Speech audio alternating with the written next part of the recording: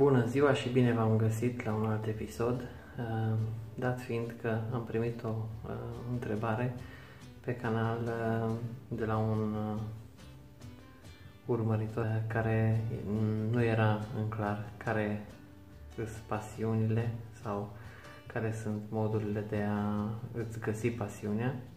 Am zis să vă dau șapte întrebări prin care puteți să vă găsiți chemarea sau pasiunea în viața voastră.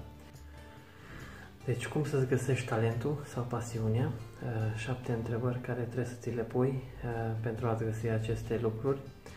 Uh, un sfat sau un consiliu pe care pot să vi-l dau este să nu încercați să fiți altfel.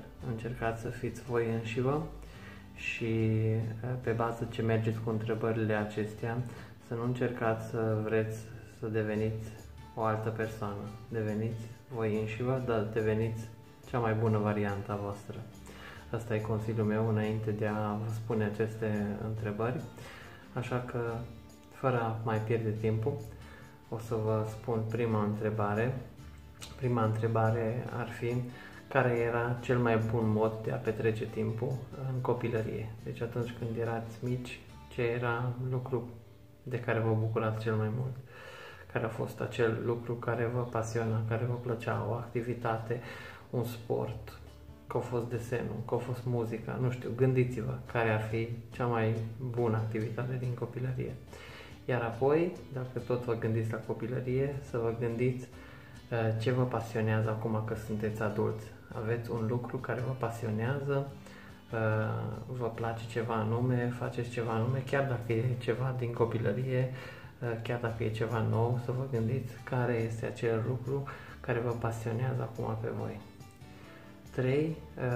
Ce complimente primiți constant? Deci sunt sigur că în cercul vostru de prieteni sau la locul de muncă sunt lucruri pe care le primiți constant, anumite complimente de la colegi, de la prieteni, de la, uh, hai să zicem, de la familie, da, ale nu prea se pun, uh, anumite complimente pe care le primiți constant, să puneți întrebare, care sunt acele complimente pe care le primiți constant și care sunt acele lucruri care le auziți zi de zi zi. De zi. Uh, 4. Care este lucru în care ești bun? Deci să vă gândiți la un lucru în care sunteți foarte buni, excelați, uh, vă este ușor să faceți acest lucru și numărul 4 se leagă cu întrebarea numărul 5 care este acel lucru care vă, vă iese ușor dar pentru alții e foarte greu. Deci să vă gândiți la un lucru care pentru voi este foarte ușor de făcut, de realizat, dar alții, uh, altora le vine foarte greu să facă acest lucru. Uh, numărul 6.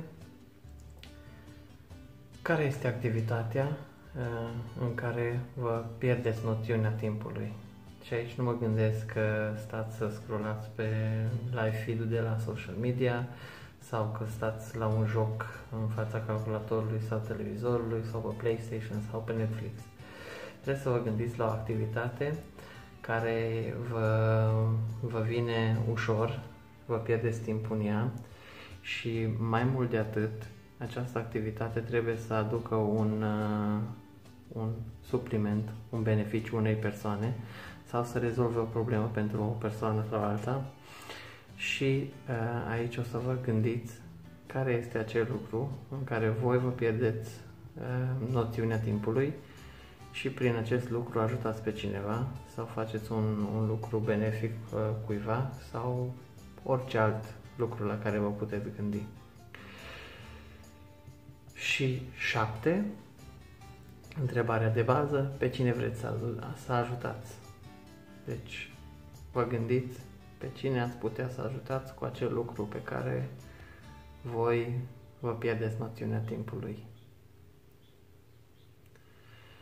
Și aici o să ajung la ultimul punct și cel mai important. Uh, trebuie să vă gândiți uh, dacă nu aveți aceste lucruri, dacă nu aveți o pasiune, dacă atunci când ați fost copii nu vă puteți gândi la nimic ce v-a plăcut, dacă, nu știu, nu faceți niciun lucru deloc în zilele voastre. Trebuie să vă gândiți cum să ieșiți din această, din această rotiță în care um, cel mai uh, de impact lucru al vostru este să stăm pe telefon uh, câteva ore și să pierdem vremea. Uh, trebuie să vă gândiți cum puteți să schimbați acest lucru.